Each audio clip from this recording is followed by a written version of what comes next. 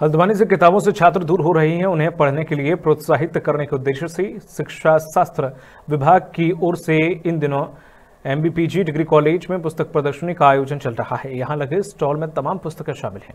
जिनके प्रति छात्रों में खासा रुझान देखने को मिला। छात्र अपनी पसंदीदा किताबें ढूंढते हुए नज़र आए। वहीं बातचीत पर छात्रों ने किताबें पढ़ने के कई फ़ायदे बताए हैं। साथ ही कहा है कि किताबों को अपने सम्मुख रख पढ़ना ज़्यादा फ़ायदेमंद होता है और इससे एकाग्रता भंग नहीं होती है और इससे समझने में भी आसानी होती है। हालाँकि ऑनलाइन सारी पुस्तकें मिल जाती हैं, पर असली मज़ा हाथ में किताब लेकर पढ़ने में है। तो बुक्स के बारे में मैं कहूँगी कि बुक्स हाथ से पढ़ने में बहुत अच्छा फील होता है। जो फील होता है असली वो हाथ हाथ में ही जो बुक होती है उसी से आता है। और जो हम इंटरनेट में पढ़ते हैं, उससे आइज़ में भी प्रॉब्लम होती है और हमारा मन भी इधर उधर भटक सकता है, लेकिन बुक्स से जो फील आता है वो।